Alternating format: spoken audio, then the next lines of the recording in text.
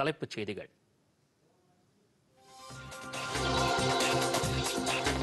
விடுதலை அமிர்த பெருவிழாவையொட்டி சமூக ஊடகங்களில் மூவர்ணக் கொடியை முகப்பு படமாக்கினார் பிரதமர் நரேந்திர மோடி. நாட்டு மக்கள் ஒவ்வொருவரும் இதனை பின்பற்ற வேண்டுகோள்.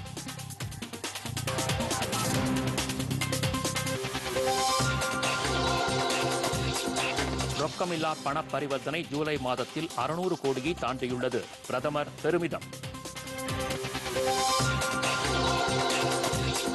இந்திய பொருளாதார நிலை ஆரோக்கியமாக இருப்பதாக நிதியமைச்சர் நிர்மலா சீதாராமன் விளக்கம். டாலருக்கு எதிரான இந்திய ரூபாயின் மதிப்பு உயர்ந்துள்ளதாக மாநிலங்களவையில் தகவல்.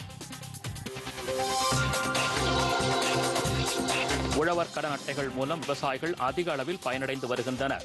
மத்திய இணையமைச்சர் எல். முருகன்.